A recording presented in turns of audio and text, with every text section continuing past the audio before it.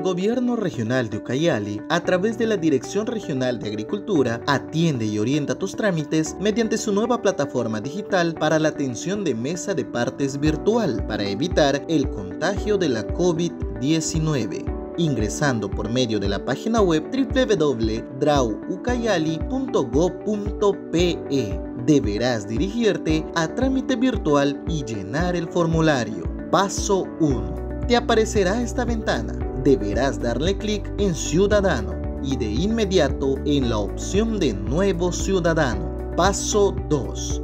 Por primera y única vez deberás registrarte. Deberás ingresar nombres y apellidos, dirección de domicilio, documento nacional de identidad o RUC, sexo, tipo de persona natural o jurídica, correo electrónico, número de teléfono fijo, número de celular, fecha de registro. Paso 3. Deberás acceder a la opción de documentos, dar clic en la opción de nueva solicitud, donde deberás registrar tu solicitud, indicar el asunto del trámite, el tipo de documento, si es oficio o si es solicitud. Sede, seleccionar el remitente, es decir, ingresar el número de DNI del usuario ya registrado previamente. Finalmente, cargar el documento.